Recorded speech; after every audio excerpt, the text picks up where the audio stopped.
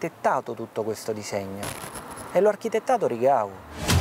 L'imputato per circonvenzione di incapace in questo processo è Andrea Piacciola e non noi. Ormai manca davvero poco, entro fine ottobre arriverà la sentenza a carico di Andrea Piazzolla, il braccio destro di Gina Lollobrigida, imputato per circonvenzione di incapace ai danni della diva. Oggi il giudice comunicherà la data del verdetto. Il suo carattere era talmente forte che mai si sarebbe fatto dire da qualcuno cosa doveva o non doveva fare.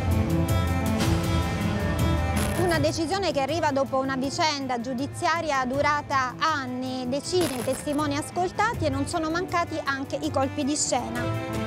È una cosa che riguarda me, nessun altro. Il Papa ha riconosciuto la validezza del, nostro, del nostro matrimonio del 2010 al 2019. Che io iniziavo a lavorare qui, veramente no, non l'ho visto. Ad aspettare con ansia l'epilogo di questo processo di primo grado il figlio di Gina Lollobrigida, Milko Skofic, il nipote Dimitri e anche Javier Rigau che proprio in queste ore sta facendo rientro in Italia. Buongiorno ben ritrovati con Storie Italiane. Oggi il giudice deciderà la data della sentenza, colpevole o innocente, l'accusa è quella di circonvenzione incapace, il PM lo sapete ha chiesto sette anni e sei mesi per Andrea Piazzolla, eh, il massimo della pena. In attesa del verdetto continuano ad accusarsi appunto a vicenda le, le parti, ovviamente, accusa e difesa. Noi siamo in diretta con l'avvocato dell'accusa insieme alla nostra Giovanna Savini. Giovanna, buongiorno a te, buongiorno Avvocato Gentiloni. Buongiorno, sì, siamo con Alessandro Gentiloni. Il giudice ha appena comunicato che la data della sentenza è prevista per lunedì 13 novembre, quindi non fine ottobre ma arriviamo a metà novembre. C'è stato Eleonora, tra l'altro l'ennesimo colpo di scena, la PM Eleonora Fini ha chiesto proprio oggi, poco fa, di replicare, replicare alla lunga ringa difensiva del, dell'ultima volta e ha voluto sottolineare brevemente eh, quanto lei consideri la perizia psichiatrica psichiatrica effettuata, anzi le perizie psichiatriche effettuate su Gina Lollobrigida una prova eh, chiave e attendibile all'interno di questo processo. Avvocato Gentiloni, il 13 allora arriverà finalmente la sentenza dopo anni di processo. Sì, finalmente il 13 novembre avremo il verdetto, il giudice si ritirerà nella Camera di Consiglio e ci dirà come decide questo caso.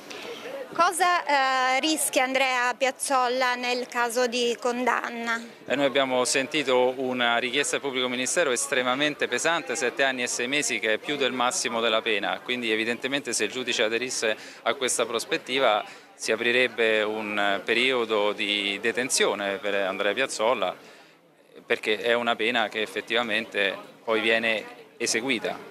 Vi aspettavate una richiesta da parte del pubblico ministero così severa, così significativa? Sette anni e sei mesi? Noi abbiamo sempre sostenuto che questi fatti sono molto gravi e quindi credevamo che la Procura li avrebbe trattati come tali. Certamente una pena di questa entità eh, non capita frequentemente nelle aule di giustizia. Oggi la PM addirittura ha voluto anche replicare, lei era in aula, come ha letto questa replica, come ce la può sintetizzare insomma, dal suo punto di vista? È stato importante sottolineare quanto per lei sia importante anche questa perizia psichiatrica effettuata sulla signora Lollobrigida. Le perizie perché sono due. Il pubblico ministero ha voluto sottolineare un fatto fondamentale, la signora Lollobrigida sembrava perfettamente normale, quindi per chi interagiva con lei sulle questioni di, di tutti i giorni era una persona che non esibiva alcuna criticità capacità dal punto di vista psichico, però nel livello più profondo del suo funzionamento c'era questa suggestionabilità. Lei era permeata da un'idea paranoide, era convinta che tutti le volessero fare del male, anche i suoi familiari più stretti, e che solamente Andrea Piazzolla la potesse salvare, la volesse proteggere. Quindi tutto quello che Andrea Piazzolla le proponeva, lei non aveva modo di elaborarlo, lo prendeva per buono, lo faceva e basta. E questo è quello che il pubblico ministero oggi ha voluto ricordare, questa duplicità di funzionamento mentale.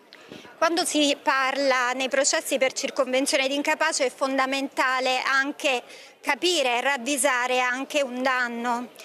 Questo danno noi abbiamo seguito lo scorso anno tutto l'inventario, abbiamo seguito tutte le fasi del processo, abbiamo incontrato giorni fa Carlos che ci ha parlato di 30.000 euro mai pagati, insomma questo danno lei lo ravvisa, ci sono tantissimi debiti, li può quantificare, parcelle che non sono state pagate, ci risulta che anche la clinica dove la signora Lollobrigida è stata negli ultimi tempi, insomma la, è stata pagata quella o no? Mi pare ma la lista dei debiti che sono stati certificati dal notaio, quindi da un pubblico ufficiale, è lunghissima. Il generale Brigida quando è morta aveva debiti con per le bollette elettriche, per le bollette dell'acqua, infatti le utenze sono state sospese, con il, lo stesso custode giardiniere che si occupava della sua casa e dei suoi cani, con lo scultore che le forniva il marmo per le sue sculture, con il famoso dentista 3.000 euro che sono stati chiesti all'amministratore di sostegno, con la ditta che teneva in magazzinaggio i mobili a Monte Carlo, con gli avvocati e così via elencando, cioè, ci sono pagine e pagine e pagine dell'inventario dell'eredità che riportano tutti i debiti con cui la signora è morta.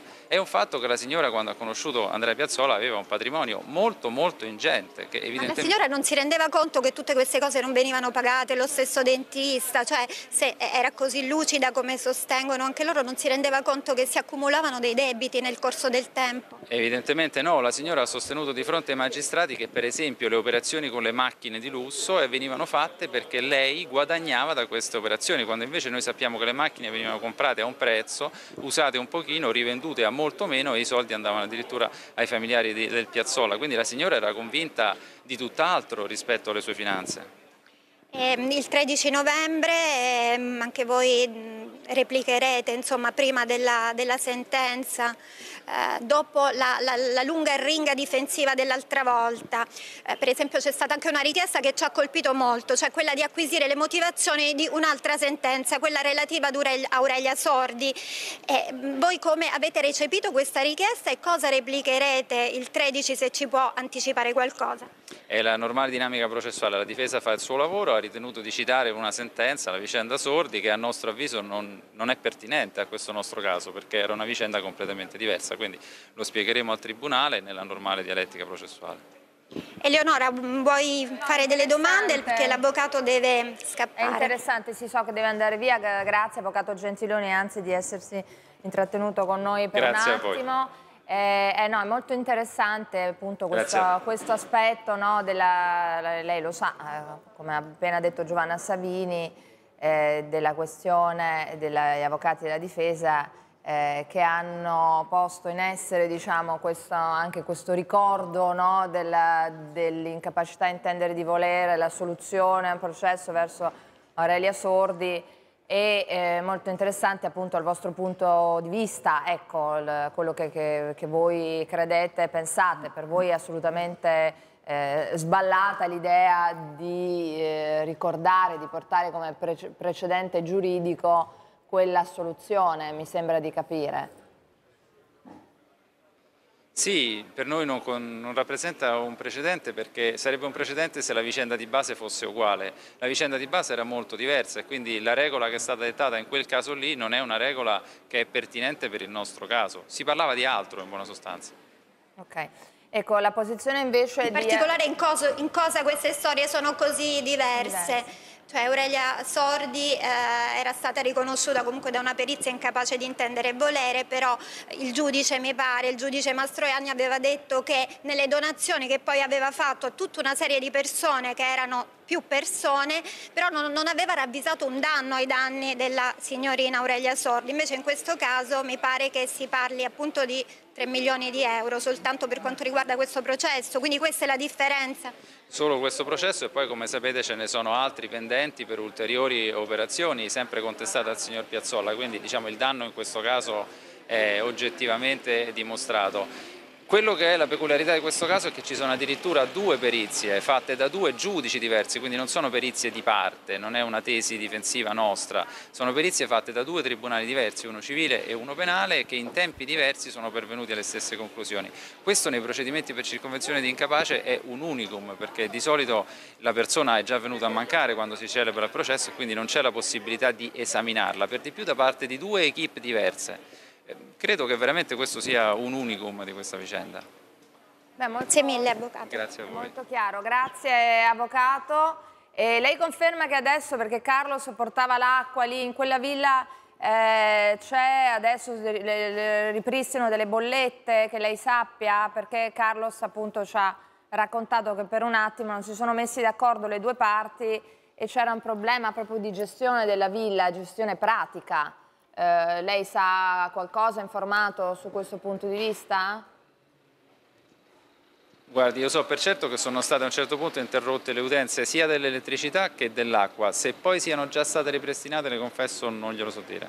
Va bene, grazie. L'acqua è stata ripristinata, questo non lo sappiamo perché siamo andati e i 30.000 euro di, di debiti anche che riguardano lo stipendio, gli stipendi arretrati di Carlos, quello lei conferma che comunque eh, ci siano questi arretrati? Assolutamente, Carlos ha chiesto il pagamento di questi debiti al pubblico ufficiale, il notaio che sta seguendo l'inventario della, della successione. Quindi, insomma, Tra l'altro sono cose vecchie che risalgono al 2018 e come mai non erano state pagate? Insomma, la, la signora Lollobrigida sapeva questa cosa, lei era molto affezionata a Carlos. Questo bisognerebbe chiederlo ad Andrea Piazzolla soprattutto, sul perché non venisse pagato da così tanto tempo. Allora, Avvocato, l'ultima domanda, chiederglielo. Prima, okay. l'ultima domanda prima di andare via, scusa, scusa Avvocato, avevo parlato col notaio e mi aveva detto che era, aveva cercato di eh, trovare il canale della trasparenza di quel fame, famoso conto all'estero oh, dei soldi di Gina. Eh, avete trovato riscontri in quello o non ancora? No, purtroppo no, i movimenti estero su estero ne abbiamo visti tanti negli atti, ma è molto difficile riuscire a interpretarli, quindi allo stato attuale purtroppo no. Ah, no, Lei avvocato assiste Javier Rigao e lui insiste molto su questi diciamo eh, quasi 4 mila euro ricavati dall'asta famosa dei gioielli che 4 milioni. 4 milioni di euro, mi scusate, eh, quei 4 milioni di euro, sappiamo che un milione di euro sono stati utilizzati per pagare eh, appunto un, un, avvocato, un avvocato di Gina Lollobrigida all'onorario non pagato, gli altri 3 milioni di euro che fine hanno fatto? Si sono volatilizzati nel nulla, non siete riusciti tramite le vostre inchieste, insomma durate anni a capire dove sono finiti questi 3 milioni di euro. Eh, purtroppo i movimenti estero su estero, quindi dal Principato di Monaco a paesi terzi, è molto difficile riuscire a tracciarli. Noi non ci siamo riusciti. Un'idea l'avete? No. Eh, no. Purtroppo no. Grazie mille per la Grazie, grazie, grazie Avvocato Gentiloni. Allora, noi partiamo proprio da Carlos, intanto buongiorno a tutte le nostre ospiti, eh, partiamo da, da, Carlos, il custode della villa, che la nostra Giovanna Savini ha intervistato in quella che eh, obiettivamente è una notizia. 30.000 euro che mancano eh, dal suo conto, dalla sua vita e soprattutto che gli servirebbero per vivere e campare come giustamente avrebbe diritto. Sentite. Veramente, eh, che io iniziavo a lavorare qui, veramente no, non l'ho visto. Come racconta il fidato Carlos, il custode peruviano della villa e dei segreti di Gina Lollobrigida, a partire dagli anni in cui lui ha iniziato a lavorare per l'attrice tra gli ospiti della diva non figurava Rigau, a testimoniare invece il lungo legame tra la bersagliera e l'imprenditore catalano, ci sono i ricordi custoditi in un'altra lussuosa dimora ci spostiamo in Spagna, sulla Costa Brava. Qui, nella villa al mare dello spagnolo, come lo chiamava la Lollo, tutto parla di lei. la mattina sempre andava al mare, allora lei qualcuna volta faceva la, la scultura in cera. Mm-hmm. Yeso no, ma normalmente approfittava che era qui per fare modellare la cera che dopo portava a Pietrasanta. Le piaceva molto andare senza scarpe per il prato. Javier ci accompagna in un viaggio inedito nel passato dell'attrice, svelando luoghi ed aneddoti. Eh, della casa è impossibile non vedere il mare di tutte le camere del letto. Sempre c'è la vista al mare. E le pavoni alla mattina, come alla via Appia, come a casa di lei, noi ci svegliamo con le pavoni. Una benedizione papale di Benedetto XVI. E questo quando si aveva organizzato il matrimonio per farsi a Roma. Eravamo veramente una famiglia molto unita e ricordo questo con tristezza. Una storia vera, come la racconta Rigau, che ad un certo punto, come rivela invece l'unico collaboratore di Gina rimasto, sembrava essersi improvvisamente dissolta nel nulla. Lui eh, ha raccontato che trascorreva qui diversi mesi l'anno, che veniva a trovarla spesso. Veramente no, eh, yo no, bueno, forse quando io ne stavo, no, non so, io sempre stato qui.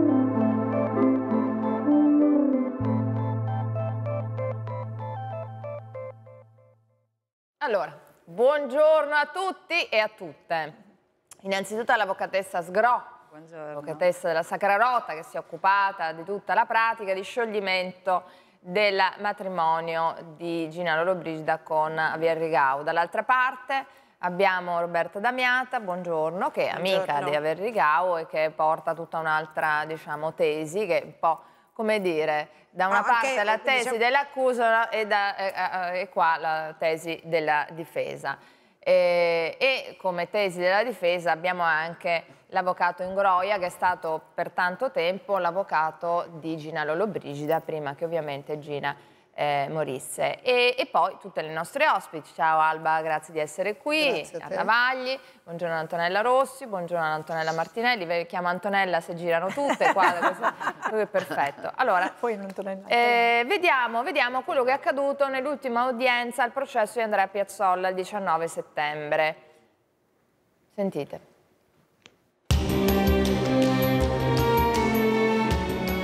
Volta che si erano ritrovati tutti e quattro insieme nello stesso luogo risale al giorno in cui fu celebrato il funerale di Gina Lollobrigida, circa otto mesi fa. Da allora non si erano più incontrati fino all'ultimo atto di un processo lungo ed articolato. Piange Andrea Piazzolla seduto sul banco degli imputati, accusato di circonvenzione di incapace. Sette anni e sei mesi la pena richiesta dal pubblico ministero per il reato che gli viene contestato, il massimo previsto.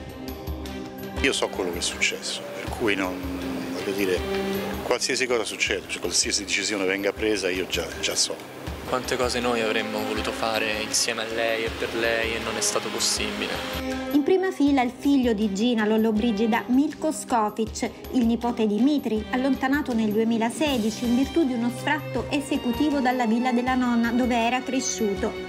Accanto a loro l'imprenditore catalano che per lunghi anni ha fatto parte della vita di Gina. Lei è sempre stata una buona madre e una buona nonna. È arrivato appositamente dalla Spagna, non si distrae un attimo nel corso delle discussioni durate ore, mentre gli ultimi anni della vita dell'attrice, dal 2010 in poi, vengono ripercorsi minuziosamente. Una donna vulnerabile, suscettibile, secondo l'accusa, una diva che aveva ritrovato l'entusiasmo per la vita, secondo la difesa.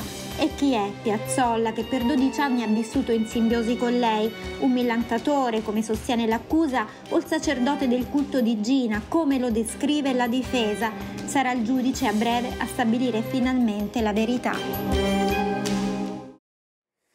Allora, la verità, eh, la notizia Giovanna Sabini è che eh, si deciderà, cioè sapremo tutto il 13 di novembre. novembre, giusto? Il 3 la data è Novembre. quella, ecco. Esatto, sì. Nel frattempo, che cosa succederà?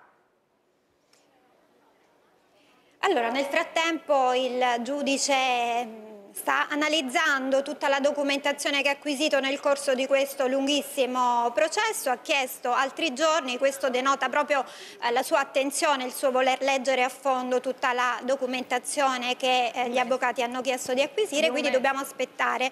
Sarà un'ulteriore lunghissima attesa e il lunedì 13 nove- novembre però ci ha confermato il giudice proprio eh, poco fa che arriverà anche la sentenza, quindi ci saranno, che cosa accadrà in quella data? Ci saranno le, le repliche ulteriori dopo quella del PM che ha voluto replicare stamattina eh, delle parti civili, degli avvocati Gentiloni, probabilmente anche un'ulteriore replica della difesa di Piazzorra, dell'avvocato eh, Morlacchini, Camera di Consiglio e poi finalmente la, la sentenza. Allora, eh, Ricordiamo appunto che la richiesta del PM è una richiesta altissima, sette anni e, e sei mesi e ehm, appunto noi poco fa abbiamo sentito anche l'avvocato Morlacchini della difesa di Piazzolla e ci ha detto una frase che ci ha fatto molto riflettere, nel caso di condanna la vita di Piazzolla potrebbe cambiare.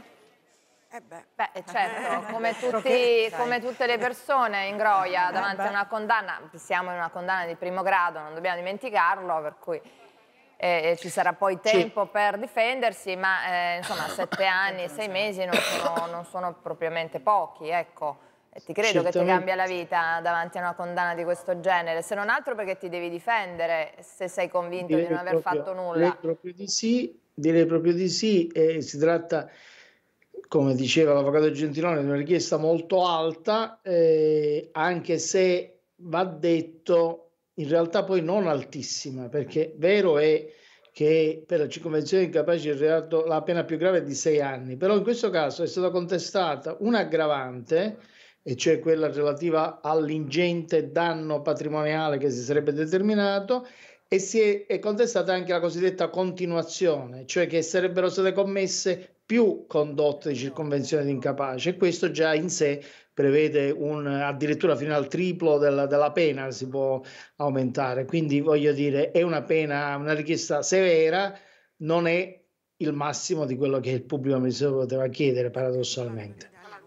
Ah, paradossalmente comunque non è il massimo. Allora sentiamo Piazzolla che dice a vita in diretta del 25 settembre eh, se mi condannano, che succede se mi condannano? Vediamo, ascoltiamo un po', negli studi di Alberto Matano.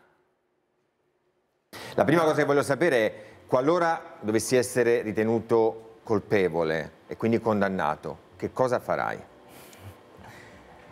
Direi aspettiamo che il giudice eh, decida e poi, poi valuteremo. Avrai pensato fare. però, no? Immagino che tu sia diviso tra cosa può succedere, eh, cosa deciderà il giudice, l'accusa è pesante. No, non, non, non, mi faccio tutte queste domande perché se no entri in un loop che non esci più.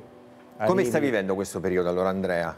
Con grande rispetto verso la magistratura e grande gratitudine verso i miei avvocati eh, sereno per quello che si può.